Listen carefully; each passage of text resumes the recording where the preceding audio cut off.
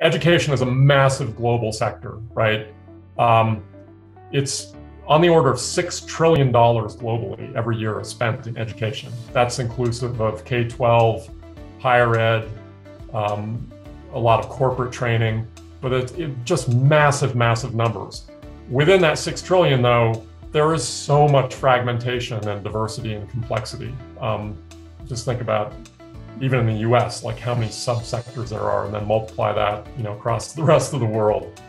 Um, and it's um, it, it's an incredibly important sector, both to individuals and to nations, right? So it, it's important to individuals because people literally life, you know, life-changing opportunities come out of good education. Um, so it, it, literally changes the arc of people's lives, of, of you know families' ability to earn a good living over their lifetime, have op, you know growth opportunities from an from a, a national perspective or country-based perspective. Countries recognize that um, having an excellent education system or having a well-educated population is critical to economic development and growth of countries.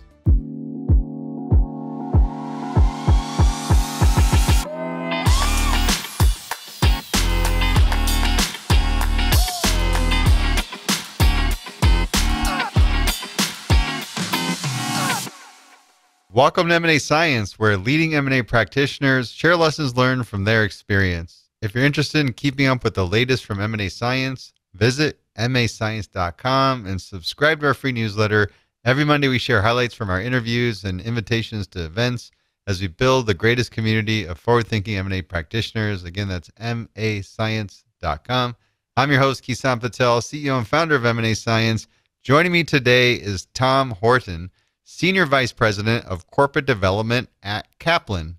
Kaplan provides educational and training services to colleges, universities, businesses, and individuals around the world. Kaplan's also part of Graham Holdings, a conglomerate holding company that trades in the New York Stock Exchange under GHC. Today we're going to talk about staying true to your M&A strategy in a fast-paced, changing environment. How's it going, Tom? Going great. It's great to be here, Kison. Thanks. Thank, thanks for taking time with me today. Can we kick yeah. things off with a bit on your background? Uh, sure. Yeah. Uh, so I've been at Kaplan for eight years now. Um, actually makes me one of the more, more junior people on the senior leadership team. A lot of that team's been there for 20, 25 years. So um, uh, fun role. I head up uh, corporate development and strategy um, for the organization. And um, as you mentioned in the opening, we're we're owned by uh, Graham Holdings Company, which is a um, it is a, a, sizable holdings company. It was formerly known as the Washington Post Company, um, and it is a public company, but it is effectively a family-owned business. It's uh, the Graham family of um, Washington Post fame. So Katharine Graham, who is um, was the publisher of the Washington Post for many years and is well known for Watergate. Some of you might have seen the movie The Post recently with Meryl Streep and Tom Hanks. That's about the Graham family.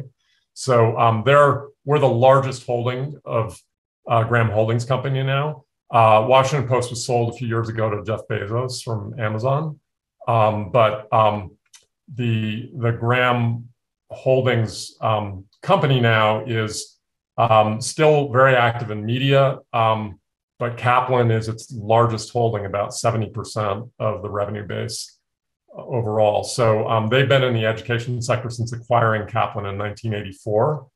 Um, and it is a, as a public company, it's, it is very unique. It's, um, it's something like, um, it's like a, a, mini Berkshire Hathaway. And in fact, um, uh, Warren Buffett was very close to Katharine Graham and sat on the board of Graham Holdings for 30 years. So um, there's a very strong imprint of Warren Buffett on the way Graham Holdings works, and as a result, on the way Kaplan works. So um, framing that because it's just as we get into the conversation today about sort of staying true to your your philosophy and principles when it comes to investment or M&A, um, that is uh, very much a result of our ownership um, by Graham Holdings and sort of the Buffett influence on um, approach to investing. So I think that'll be kind of a fun area of conversation today. Uh, you've been um, heading corporate development there for some time.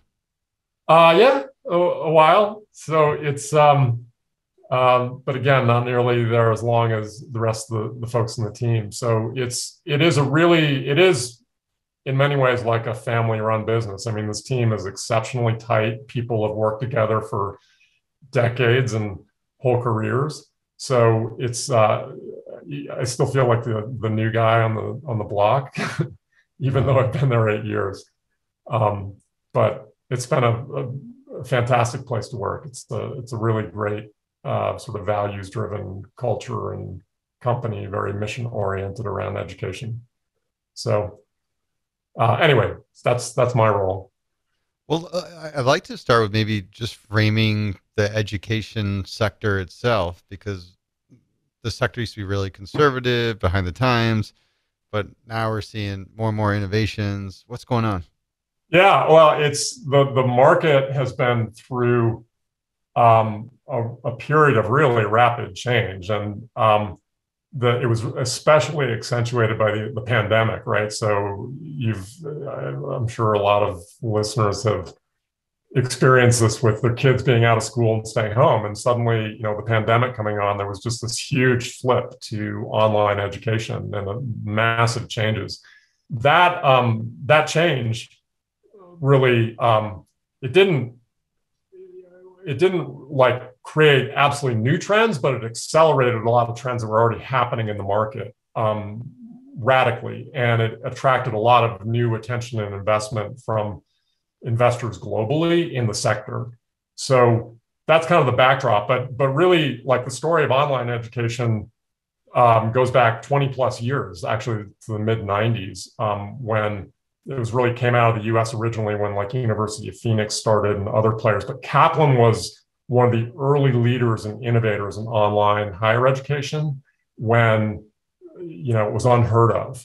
Um, so between 20, uh, 2000 and 2010, so one decade, we went from essentially like 35 students in the first year to 75,000 students by 2010 in, in an, uh, a, a Kaplan branded, Kaplan University, a Kaplan branded online higher ed program.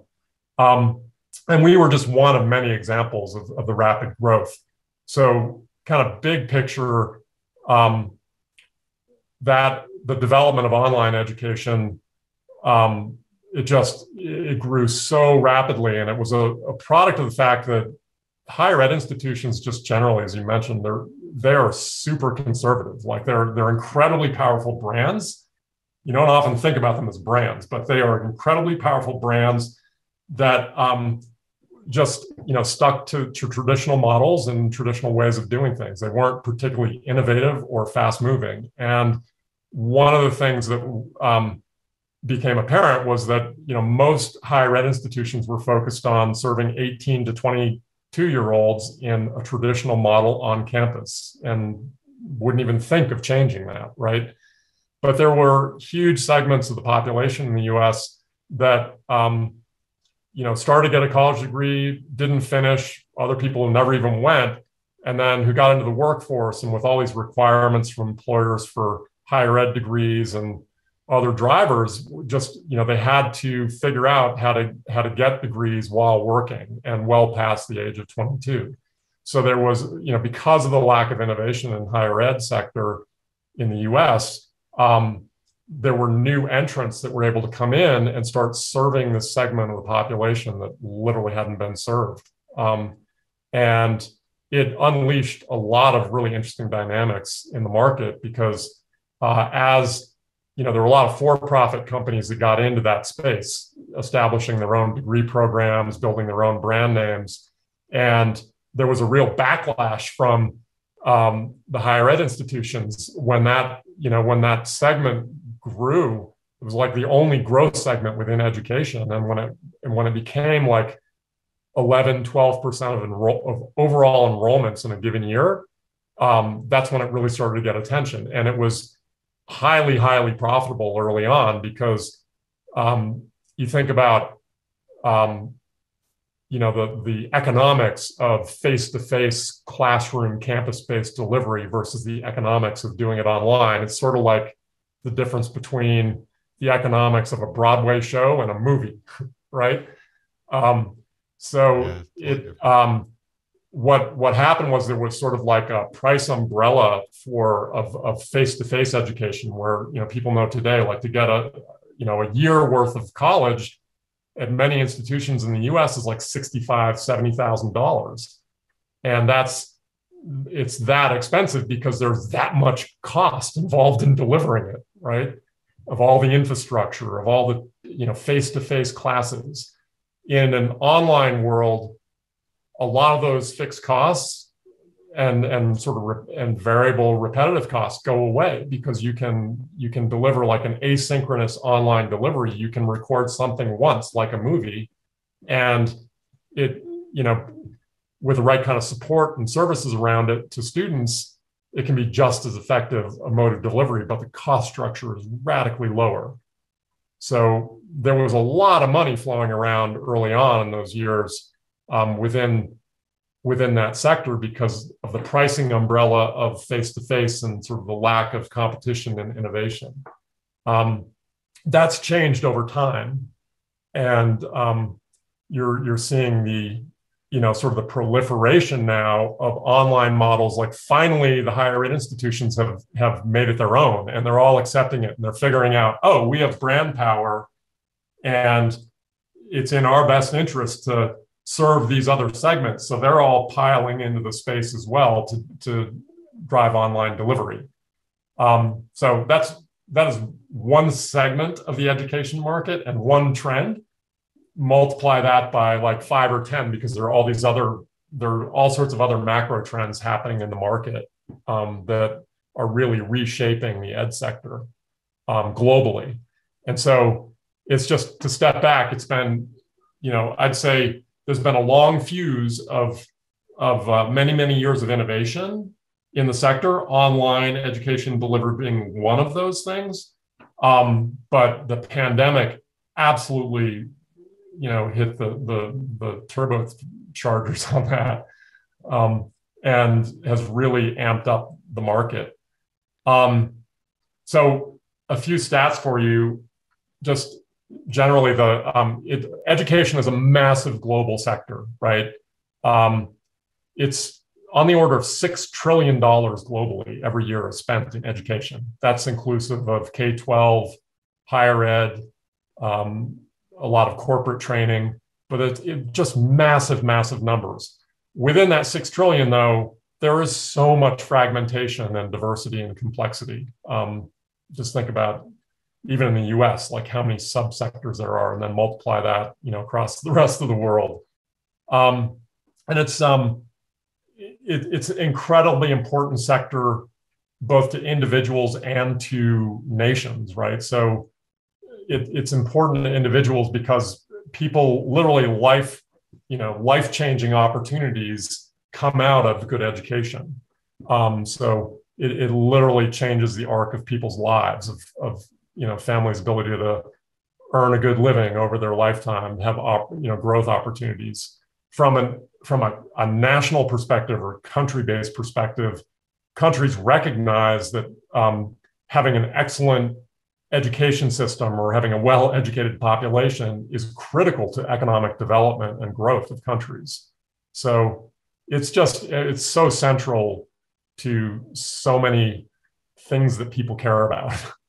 um, so that's that's kind of the, the order of magnitude of the size. When it comes to like the, uh, I mean, just getting to the point about M and A and investing and all that. Um, a couple of stats for you in with um, there are often cycles in you know education but with the pandemic there were absolutely we saw absolutely explosive growth so in 2021 there were 450 acquisitions roughly globally um, and that value that total value is about 30 billion dollars um, and that's that is probably small compared to a lot of other sectors, but um, just the sheer numbers and the growth of it's amazing. It, so the 450 acquisitions that year was a 40% increase over 2020, which was a similar increase over the prior year. So um, the and the valuations have kind of gone through the roof. So uh, like median uh, enterprise value on a, on a revenue multiple basis was about three and a half on average in 2021. But for larger companies, it was at 6.2 times revenue. Like those are some pretty eye popping revenue multiples, um, just generally. So there, it, it's a sign of like how much interest and buzz and activity was happening in the market. Um, on the VC side, the global market in 2021 for investment was on the order of $21 billion. Um, and that was three times the level. $21 billion was three times the pre COVID numbers. So, uh, what it does, it's still not massive compared to other sectors again, but it is relative to where education as a sector had been. Those are just some kind of indicators of like how explosive the growth has been and you know what the what the buzz is. There were um, um, since 2015, I think there have been 38 new unicorns um, that have come out of venture investing.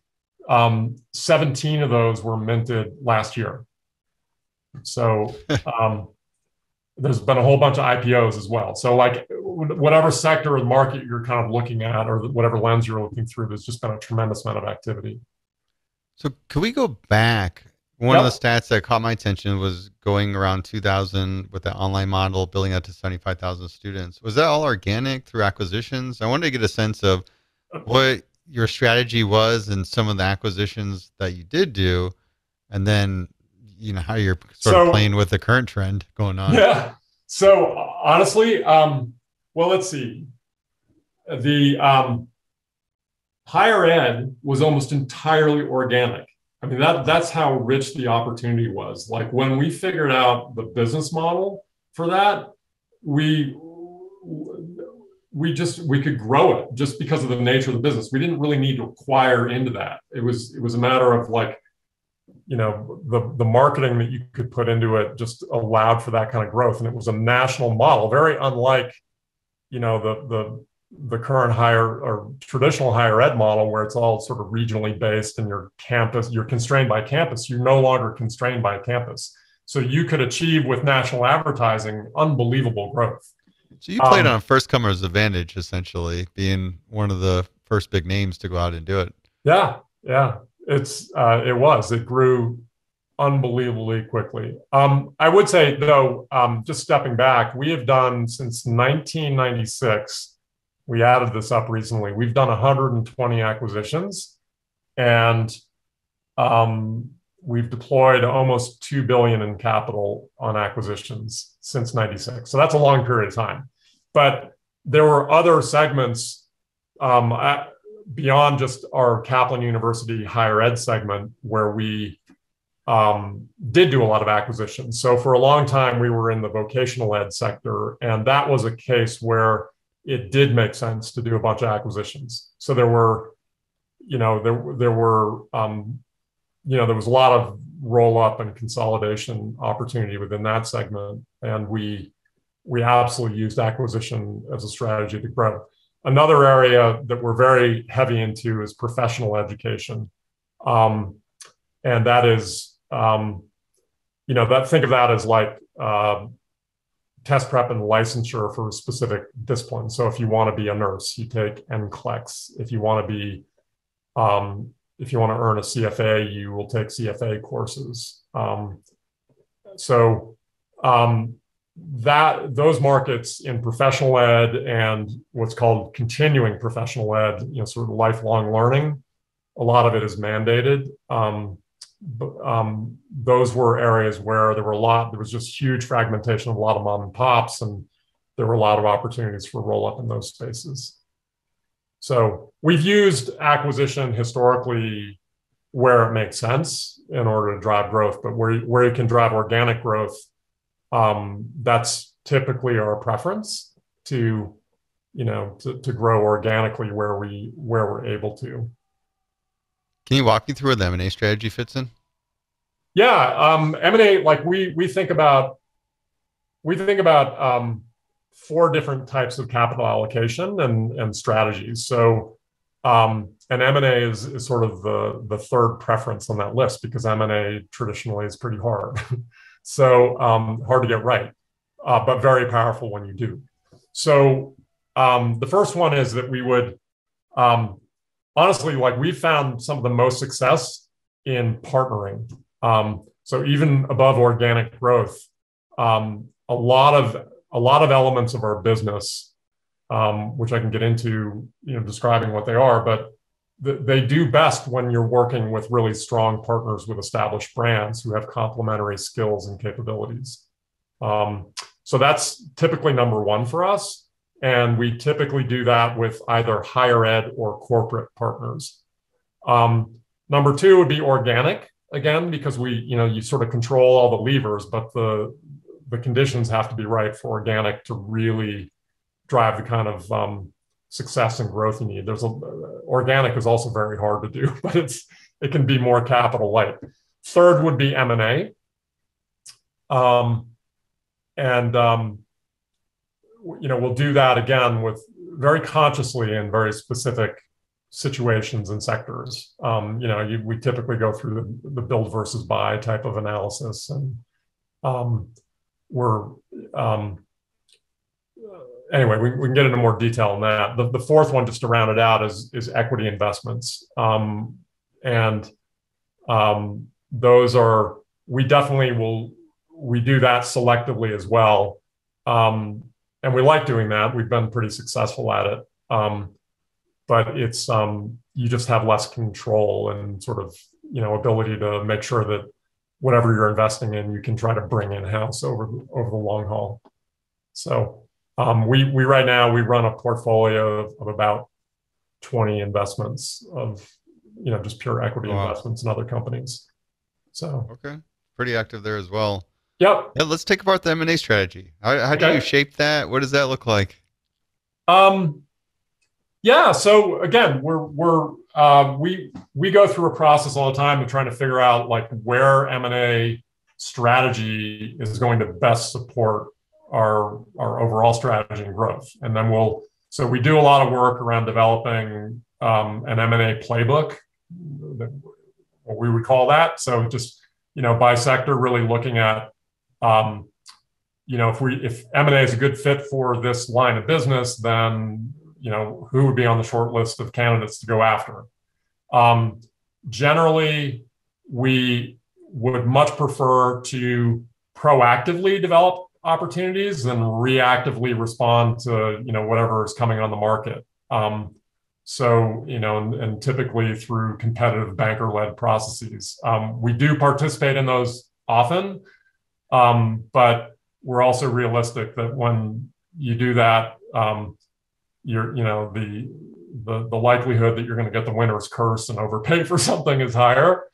Um, Very true. And we we would just much rather prefer to bring in uh, companies that we've developed relationships we, with. We know the management, um, and you know they're in a sense less competitive um, because you're you know you're you're going on sort of a trusted relationship and that approach. So that's that's one general um, approach to it.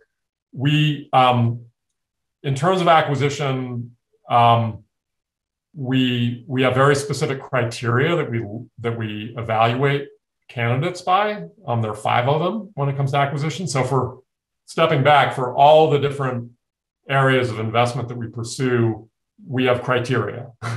so whether it's organic growth, it's equity investments, it's acquisitions, we have criteria. Um, and we the general approach on those is look, you don't have to answer the mail on every single criteria. You don't have to nail it, but the preponderance of support has got to be there across those.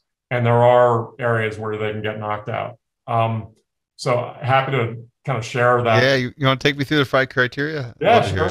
Um, I will. So in acquisitions, uh, the first criteria we look at is just we want to see a strong history of earnings and track record of growth. Um, so we just we want evidence that there's a strong underlying business there that can deliver results. Um, the second, so that's sort of the look back.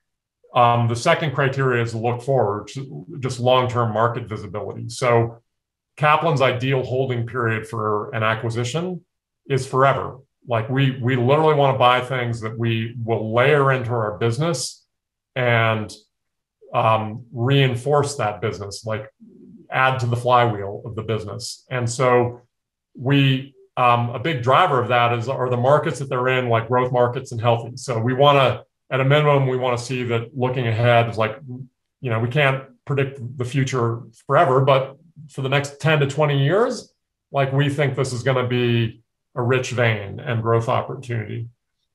The third thing is strong management. Um, and that's very much in sort of the Buffett, uh, the Buffett style. Like as a holding company, you want to buy companies where the management wants to come along with the business and not step away. Um, so we we look for strong leaders and managers. Now, that would um, that's not necessarily needed or true when you're doing a pure bolt-on, and we do plenty of bolt-ons. But um, having um, at least you know a strong management team that was there before and built a good business, that's that's another indicator of you know strength of the business. The fourth area is just that that whatever we're buying is sort of within the competency of our existing flywheel. Um, so it's um, we don't like to do typically like really big step outs and take big risks. We want things that are going to we we sort of know how they work, that we know how to do them, even if they're kind of we do like adjacencies. We just don't um, and we we continually want to grow and innovate you know the range of businesses that we have but we we just try to avoid like really big step outs or things that are total flyers that are not going to you know have any relation to the existing business. Now again that's one that we will you know there may be cases where we do step outs and we try new things but we do that very consciously right? So we might relax that criteria. Um, the fifth one is reasonable valuation.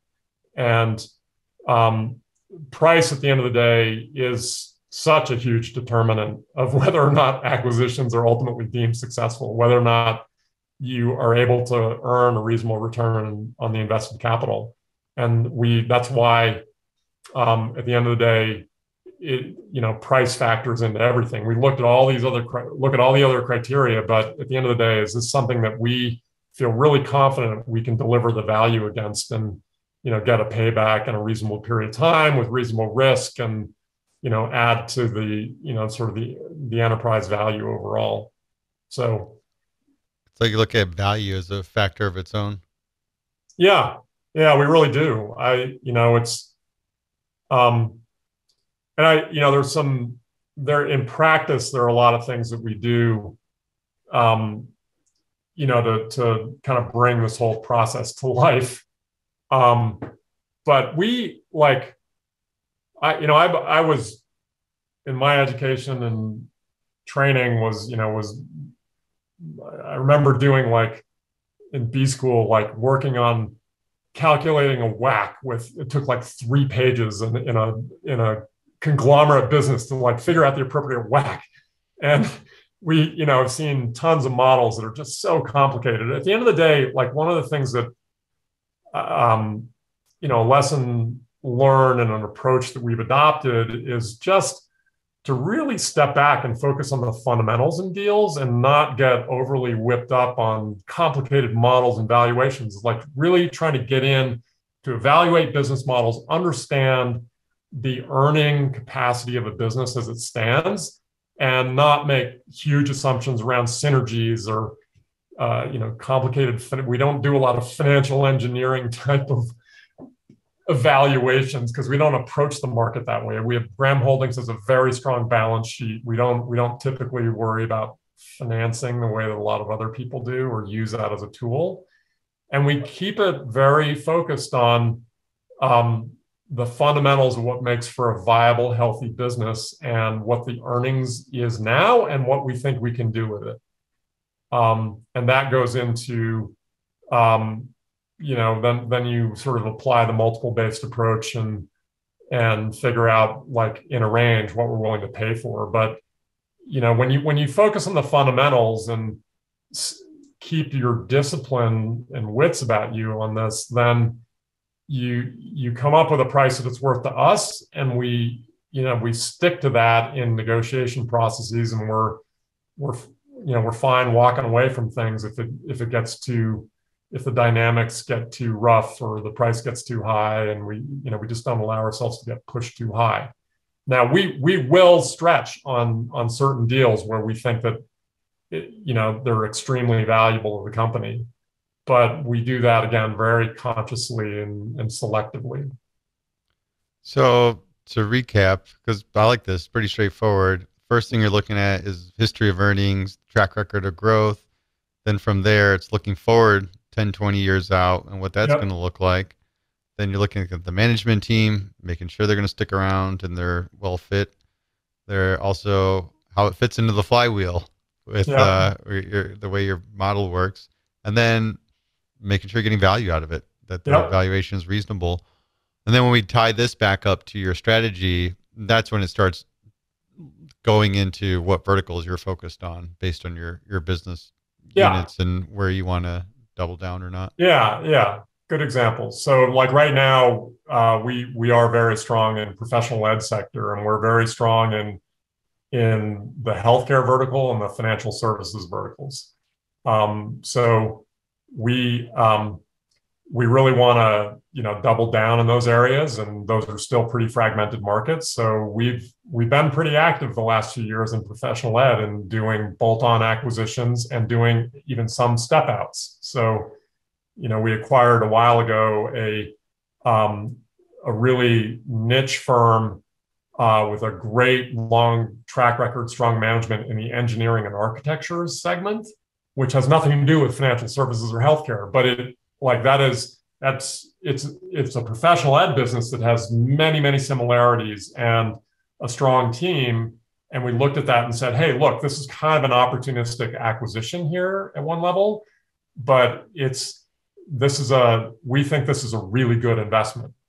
So we'll um, you know it's just a good example of where we might do kind of an adjacency or step out um, and and you know we we aren't always firing on all cylinders and just doubling down on what we currently do. We're we're stepping out every once in a while too.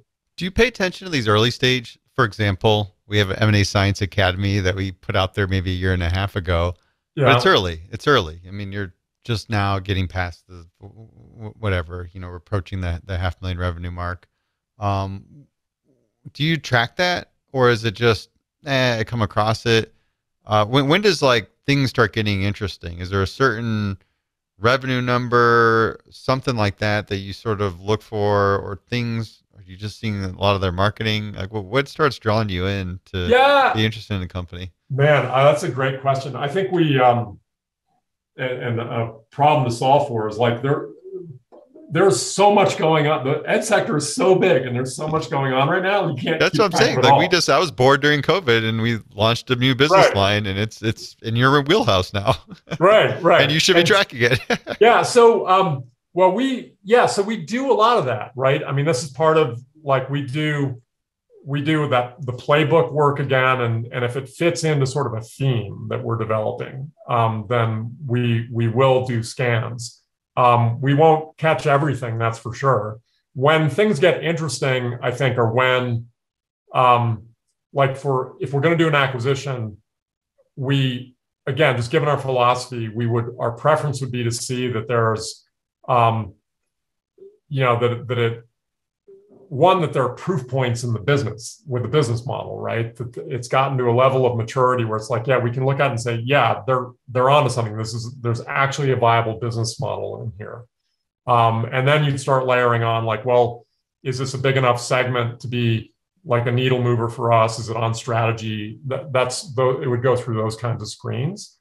Um, there are um, like what you're describing and what you're doing right now is around i think you're you're in a per, per, particular professional vertical right? You're you're talking yeah that, that's the thing. I have a hard time selling you on a tam because we don't even know what that is.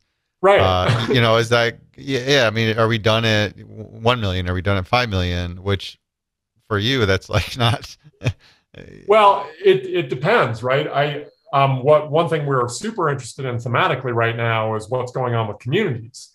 Um, so a lot of a lot like what you're doing, and there are a lot of other players out there doing with podcasting and things like that, is actually building um, community-based strategies, and those like that's interesting to us. Um, it, it, actually to step back and uh, I haven't really described kind of the breadth of Kaplan yet because we're we're made up of many many parts. Um, we we can get into if you think that's relevant, but one of the things that um, you know we that we've faced as a company is Kaplan like the origins of Kaplan were in test prep, right? That's sort of what it's most known for in the US, even though today that's like a very small portion of what we do. But what we found in our business is that we um, we tend to be very we will see students, the same student, multiple times over the course of their career, but we're very episodic in dealing with them. So if you think about just in the frame of test prep, the way things have historically worked, like we we've been in SAT and ACT prep for a long time. Again, very small chunk of our business, but what we're known for. We so we go out and we acquire students, we market to them. You know, we have acquisition costs. We bring those students in for like a relatively short but highly important chunk of time. And then they go to college. They get into college that they want to go to. They go to college, and we might see them again when they decide, oh, I'm going to become a doctor or a lawyer, and they take MCATs or LSAT. So we reacquire them, right? And then we yep. we have another like very intensive, high value add um, engagement with them on something that's very high stakes for them, getting into med school. And then we might see them again when they get their they do their medical licensing, USMLE, um, or nursing, NCLEX. So we're touching students like multiple times, and but we're reacquiring them. And one thing that we're trying to do is become much more relevant um, to a student uh, along their journey and to be engaged with them um, across that. Uh, we're not the only ones doing that in the ed sector. A lot of people are trying to solve that problem because the, the fundamental drivers in the education sector are literally cost of acquisition and LTV, right? It's, it's kind of the, the same drivers of SaaS based models. So, um, you know, the, the and especially as like Google and Facebook have just dominated the marketing channels. Um, and you know the other other big tech players are there's so much competition now for students that you know the the the, the cost of of those leads and ac- acquiring students through those channels is going through the roof and what we are very conscious of is trying to acquire students through our own unique sources you know, not relying on those channels where we can avoid it, and um, making sure we we are engaged with students so that we don't have to reacquire them every four years, right? Um, yeah. So, in any case, this is a very long and way around the story, but on community building, like that is a really fascinating way to maintain engagement with people. So we're, you know, that's that's an area that we're we're definitely really interested in doubling down on. We're doing investments, we're doing acquisitions, we're doing organic things. That's that's broadly a strategy that's very interesting to us. So, so to the extent that you've built a, a, a you got proof points on a business model, you're, you've got momentum. There's a you know there's a, a, a segment of the population that is really interesting and attractive. Then that that's when it gets hits our radar and gets we get serious about. I keep working my history. Make sure I got a good financials for you. Yeah. Well, so let, us take that example, um, especially like the community one because that's up and coming. How do you take this strategy and get your organization aligned around it? Uh, that is a great question. So uh, again, the pandemic kind of threw a bomb into the middle of of uh, how we traditionally gone about things, and um, it, it's actually been um, we've been really lucky in many ways that it happened because we've I think we're we've come out of it strong. So um, what traditionally we would um, how to summarize this? So Kaplan as a as sort of a family owned business and you know people have been there a long time like it, um it has its idiosyncrasies culturally like we I've worked in other organizations where there's like a real operating structure that gets put in, like an operating system that gets put in place to do strategic planning. And um, Kaplan just like that would not work at Kaplan for a whole bunch of reasons. So um, we what we did have were you know like series of kind of leadership meetings where we get together face to face, usually in New York, um, and you put a lot of effort into prepping those sessions and um, at the end, they were all great sessions, but nothing really ever stuck. Like our our units would come out of it and just go back to you know business as usual on the backside of it. Even though there are all these opportunities where if we could pull together the capabilities and the assets and the resources across Kaplan, we could really get after like new, bigger opportunities. So when the pandemic hit, those meetings got canceled, right? Um, they would typically be meetings of like 30, 30 to 40 people max. What we ended up doing though was um, creating a whole new approach and series of meetings um, online where we call these the Kaplan Leadership Meetings, KLM. And we um, have we were able to broaden the audience in that engage more of the leadership because we weren't you know having so many people take a whole week off and travel for these other meetings and we really um, just systematically got after um, starting to work, you know, broader strategy issues for the organization and doing it in a way that was going to work for Kaplan. So, you know, what what doesn't work is to have like, you know, a, a centralized team like mine, and it's not a big team. It's three of us. um, but to have our team go out and basically say to the units, here's what we want you to do. Like that does not work within Kaplan. It, it would not work. But what we were able to do through that process was really come up with um, like some governing frameworks and approaches that everybody can align to. So uh, an example would be, you know, I just mentioned about about how cost of acquisition has gone up, and we are trying to innovate our own preferential sources of students. So, um, in order to lower CACs and to, um, you know, not just be in there competing against every other education vendor that's out there.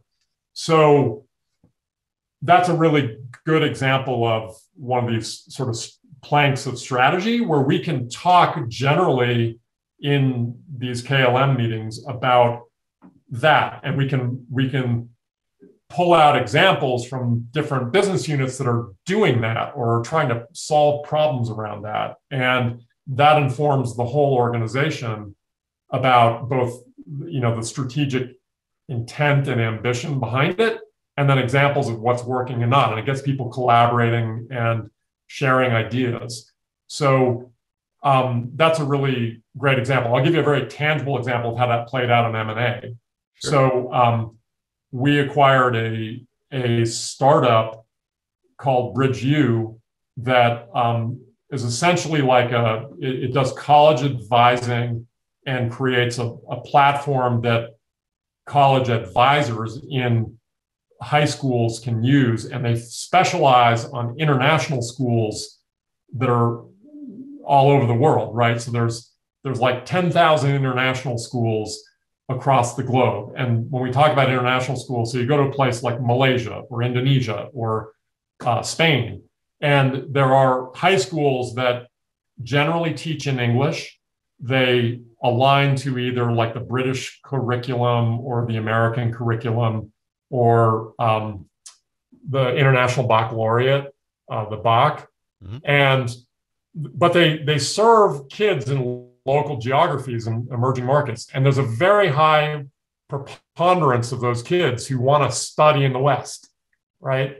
So to the extent that you can go into those schools and develop, you know, tools that are really helpful to the professionals, you know, who are running college advising and to the students and to the parents, where you make it easier for students to learn everything they need to know about applying to schools in the West and you know helping to facilitate that process that's extremely valuable both as a source of unique students that colleges love and um, just a really you know it's a it's a very unique way of sourcing students. So it's a it's a good example on a bunch of dimensions of both like what we do on that strategy you know coming out of that kind of strategy process and what we do on m&a how did you find that opportunity? Um kind of networks. So well, i guess that, that, that's where i was curious about. When you're communicating this strategy and getting this dialogue internally how far does it go is it just purely people holding a VP level title, or does it go even broader than that? Like yeah, it's fun. I mean, we've been evolving. So we've been at this now for what, like two and a half years with this new format after the pandemic, and we aren't going back. We'll supplement with like face to face meetings. But one of the things that's happened is we've been adding more people as we go. And in some cases, depending on the topics that we're picking off, and you know, we'll meet right now we're we're sort of doing it. We're doing it like every three to four months, having some form of meeting, um, and um, we're we're adding depending on the we have a very set agenda, sort of the, like looking a year ahead, and as we hit specific topics, we're we're extending this to a broader set of people. So there have been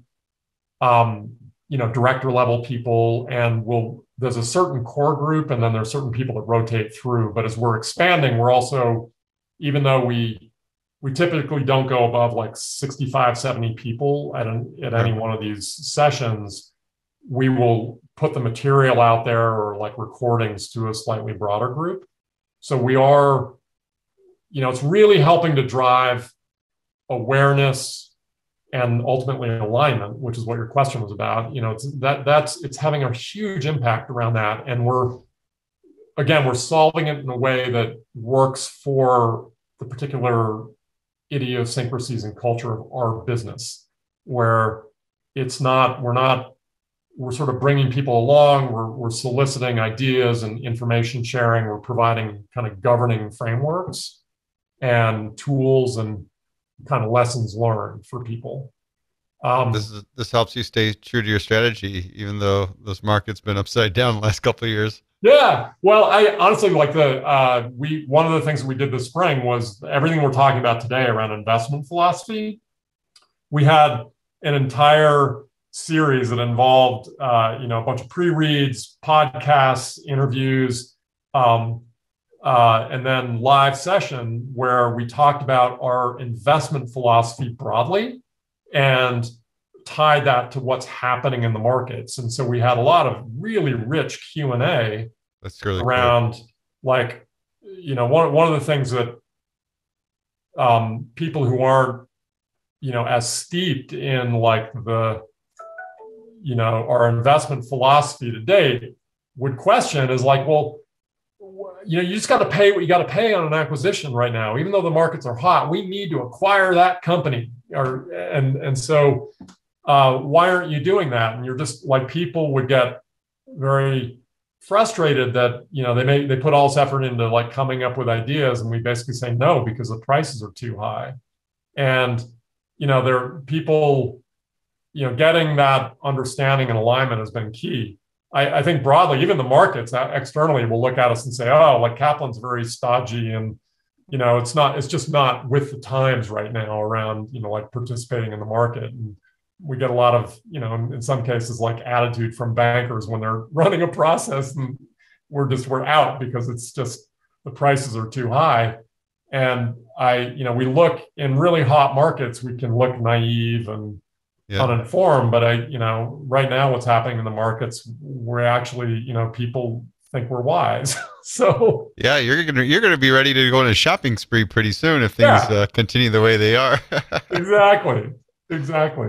You know, one of the things I wanted to touch on is in a prior conversation, you told me about some not-for-profit transactions you've done, um, and I'm not sure if it's either converting a non-for-profit to a for-profit, or I know you had that partnership with Purdue, where yeah, that, it's the Purdue thing that I'm talking about. So that, that, was taking for-profit to a non-for-profit. Yeah, that was that was an outgrowth of um, the challenge. What, what I didn't say about the higher ed market um, was that you know when when we grew to 75,000 students and all these other players got into the space, the the universities and uh, others, you know, the Congress reacted really aggressively and they went after for profits. It's still a really big issue right now with the Biden administration. Um, but we, um, the, the market got really rough as a result of that. And there was a whole new crop of entrants that came in who had not for profit status. They were really like for profit models. They were new companies that, that emerged but they were playing to the not for profit, you know, they're not for profit positioning. And then universities themselves started getting very active in, in the space.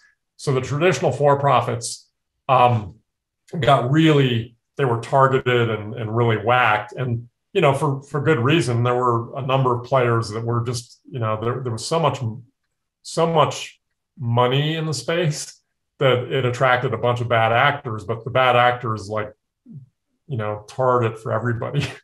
so um, they, um, you know, our board of directors at Graham Holding decided to, um, you know, to exit um, our own, you know, our own branded for-profit university, and we were looking for ways to do that. We ended up doing a partnership with Purdue where we we essentially we sold them um, the academic side of the operations. We, we literally sold them that for a dollar.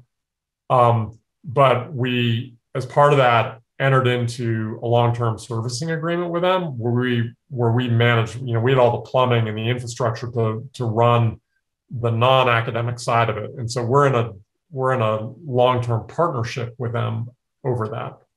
So um, it's pretty much a carve out. Yeah, in a, in a way, it was yeah. We um, they Purdue is in absolute control of the academic quality, the academic standards, the, delivery, you know, of the of all the teaching and a lot of the advising. And Kaplan um, is a service provider to them for a lot of the of the um, you know the, the key elements of the business around you know marketing to students and recruiting students providing support early on you know helping students um, you know make the transition back in or you know to being students and being able to succeed so um, there's a lot of back office type things that we do and things behind the scenes that's um, interesting yeah and they have um, there's a provision in there where um, you know the it is a long-term agreement, but they're like if they eventually want to buy us out, they're able to do that. Okay. So it's ever... a very unique, it's a very unique structure. It was um, just the the whole model was was something new and different that we we had to go through. It took us a good year um, of just um, kind of completing that deal with them. It was it was effectively like a disposition that we that we did, but but it was one that had all sorts of um, it was almost like an acquisition as well because we had all sorts of problems that we had to solve for to make the the relationship um, get incentives aligned and make the, the relationship work. Yeah. Yeah. So a lot of a lot of the, kind of innovative problem solving. It's interesting. That's the fun part about doing these interviews is you learn about these unique deal structures yeah. Have you ever been on the other side where you've taken a non-for-profit entity and turned it into part of your for-profit? Not that I'm aware of. Um, no, that's I, that's a I lot more complicated.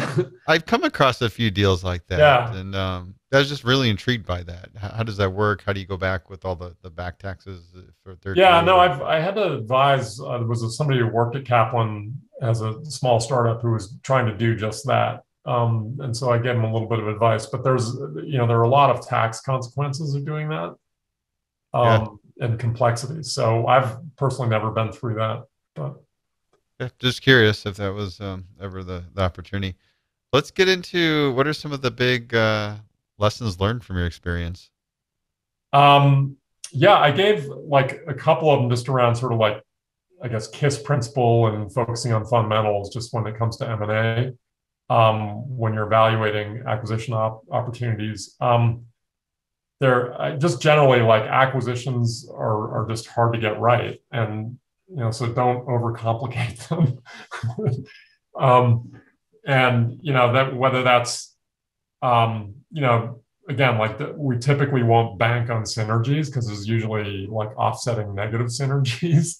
So if, if you're making your case fully on synergies, like beware.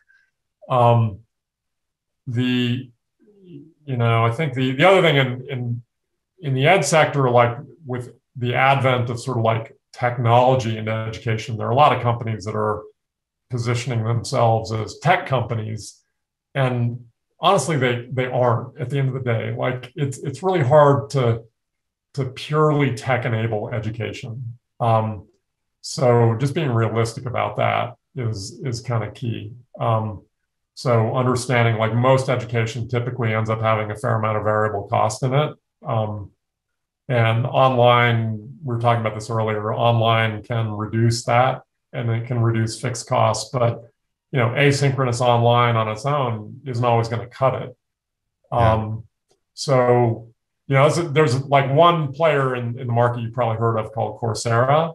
Um, and Coursera has got like a hundred million claimed users, you know, globally right now. Um, it started off as, as a MOOC, one of these massively open online courses, and it was for free. Like they use freemium strategy to bring a lot of people in. Um, but they're really they're they're very aggressively partnering with higher ed institutions like leading institutions, helping them bring certain courses online. And then Coursera has built a platform, and they they they're offering um, whole portfolios of branded courses to higher ed institutions, to corporates, and they're going global. Um, and they're even getting into offering full degrees online at a much, much lower price point, like um, you know, terrific degrees for thirty thousand dollars or less, like the whole degree. Um, and um, the reality is, like, they're onto something. There's definitely that like they, I think they have a lot going for them um, around this kind of platform-based strategy and that that approach. But I, I think their Achilles heel is, um, frankly, that um, most students have a hard enough time learning in face-to-face classrooms, and you know, independent self-study totally on your own in asynchronous mode is hard. Like I, so for them to really be successful and get and yield educational outcomes and return on an educational investment, you've got to deliver the support and the services. And so I, I just think that that's generally true. And, and Kaplan has really deep experience in that. We're like super, we're super focused because of our test prep DNA. We are super focused on educational outcomes and kind of the return on investment. So um, I, mean, I think that's one where you know we will solve our own our own path to to participating in sort of the global online higher education and corporate marketplaces, but um, service and support will be an important element of what we do. really know your business model, know your strengths, yeah, play off of them. Yeah. Um, what else can I tell you about? I like lessons learned. Uh, we have a lot of debates internally about um, should we, getting back to like the that example of the engineering and architecture company, like should we do opportunistic deals or should we always be purely focused on strategic deals? Um, like, does it fit in really central to you know centrally to one of our our strategies? And I, you know, honestly, I think we there's a ba- there's an argument to be made for both. Like we we do absolutely do these kind of strategic deals um, that are enablers of, of broader strategy and have high value. But we we do have a lot of experience and good experience with doing like smaller acquisitions that are kind of more opportunistic or volatile that sort of you know like build on your you know layer on additional layers of earnings in the company and you know can be successful in you know creating new growth avenues for the company. So um, that's that's one thing. Um, the you know generally you know other lessons learned are just around um, it's not so much related to acquisitions, but but like lean business development approaches, where we're we're always trying to think about how do we make how do we chunk up like big investments into smaller investments and, and layer them on incrementally um, and have sort of decision points. So um, you know, as like in any new business venture, you are you're always facing kind of risks because of the uncertainties. Like you don't know if your business model is going to work. You don't know if you'll have product market fit. And so in any venture that you're trying to go after, even if you've done an acquisition as like a base to start with, and you're trying to build from there, you want to think about um, trying to be um, trying to figure out what the biggest uncertainties and risks are and like knocking down early as you can the proof points on those and only spending as much money as needed to like figure that out. Um, and kind of making decisions as you go. So we really we try to employ that approach. I don't i don't know if you run into that a lot with um, as a methodology that other companies are using but it's one we really believe in. You started when you mentioned it i started thinking of like roll-ups because that's a big thing where you got to just get better at it and but that that's the nature of it doing it you have more control over that before you bet the house you're at least yeah. validating yeah. that this is actually going to work and it doesn't always work that way like we've you know we, we've had misfires too where you know we, we've had a business unit team that is aggressively arguing we got to spend a hundred million dollars to get into this sector you know like we got to plant a stake in the ground and be an early mover. And in one case, we did that um, broadly. In this, we, we, there's a whole um, emerging area around new economy skills training, like you see in these coding boot camps or mm-hmm. like data science or uh, digital marketing. And we were we acquired um, very early on one of the early boot camps. It was actually it was like the Kleenex brand of it's it was called Dev Boot Camp, and we did an acquisition um, early on, that's where the boot camp moniker came from, and paid a bunch for the acquisition, and then it was it was all like face to face, site based delivery with individual teams. So we had like you know a site in San Francisco, a site in New York, and so you have a rent. You have to do all the B two C recruiting to go out and recruit the students and it was a it looked like a really good business when we bought it and that was going to be like our stepping stone into that space. Um, there were some others that kind of got into it at the same time.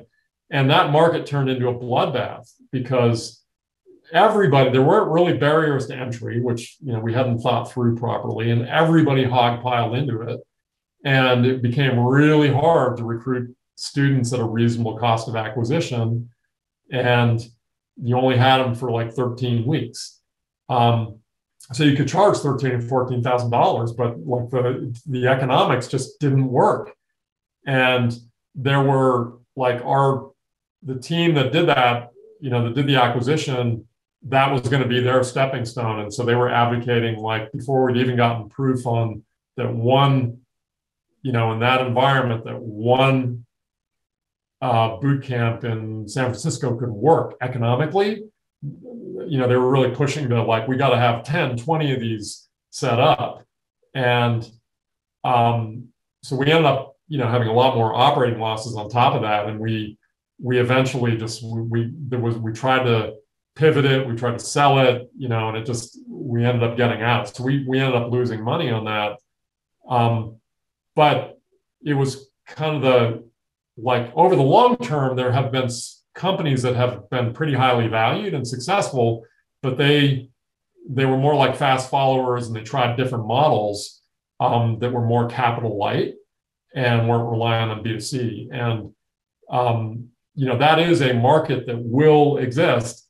we were just in there kind of like hadn't thought through it enough and we're in there too early when you know there was just you know a competition went through the roof and it just you know would have taken as much investment to try to get ourselves out of the hole as we gotten ourselves into right? So it um i don't know it's good good testament to like you know really thinking through again the fundamentals and like what like what the landscape how the landscape's likely to evolve what the business model looks like what are the moats around the business. Um, really thinking that through from all aspects and then being nimble in the approach um, which we we really weren't like we we got really locked on too much to one model and didn't pivot fast enough so we weren't the only ones that got got whacked in that uh, environment, but there there have been you know fast followers and others who have been successful. We weren't in that case. M and A ain't easy. Yeah. yeah. Tom, what's the craziest thing you've seen in M and A? Oh, uh, I haven't seen. I've seen. I've had interesting moments. I don't know if I've seen anything truly crazy. You have to have. Then you haven't done an M and A if you haven't seen anything well, crazy. I, I will say we did. Uh, there are a couple examples. Uh, one when we did the we did uh, an acquisition that we closed on March nineteenth, twenty twenty. So that was a week into like utter panic around the pandemic, right? I think it was March thirteenth when like New York went went berserk. Um, so we ended up closing that deal, but um, there was a, it, you know, it, it almost didn't happen because of of the pandemic, and we we definitely there were a lot of people that were spooked by that, and there were some uh, you know uh, negotiations in the end just to to make it. Everyone was trying to conserve cash and all that, and we were we negotiated at the end to just you know like the, we said we'll we'll honor the deal and go through with it despite the world seems to be falling apart um, but we're it's got to be on the following terms we don't ever like to do that, um, but that was a very extreme circumstance. Um, I think there are other. We weren't alone in that. In that, a lot of that's happening now as well, right? people are yeah. retrading on deals left and right. Um, we definitely don't like to do that. Um, so that was rough. I like another one. Um, we had we had a deal um, where we bought a small medical simulation company that was doing some really innovative work, and they were on the verge of bankruptcy, but they had um, they had an equity. It wasn't sorry. They had a, a grant that was made from uh, one of the richest um, entrepreneurs in India of like 10 million bucks, and um, they had, as a result of that, they had certain rights for global sales and all that. And we just didn't want all that complexity. So we basically, it, it was a tiny acquisition at the end of the day. And we weren't, you know, we were basically saving it from bankruptcy. But um, the negotiation on it took six months because it was, uh, and it was tiny. I'm talking like less than two and a half million dollars of an acquisition, right? But we had to negotiate with uh, the representatives of one of the wealthiest guys in India over this grant that had been made. So they were acting in a, in a sense like it was equity, and you know they didn't want to they didn't want to lose that investment, but it was a very complicated negotiation to to basically get what was going to be required for us to even take it out of off the verge of bankruptcy. You didn't finish uh, it. So those were those were interesting. Um, I don't. Um, yeah, I've had other crazy experiences, um, like almost getting um, arrested in Israel during an acquisition, but it wasn't related to the acquisition because I was outside a building taking a photo of downtown Tel Aviv, and it happened to have the IDF, Israeli Defense Forces headquarters, in the frame, unknowingly. Oh wow! Oh, so, wow. uh, so oh, that's funny. Yeah, that was a fun one. Um, Where'd Tom go? Anybody see him? he was only going out for a minute. so I had to remove it from my camera. It was a digital camera, thankfully. well, it's good. We'll let you keep the camera. yeah. Tom, thank you so much for this conversation. I enjoyed it. Yeah, same. Thank you. And here's to the deal.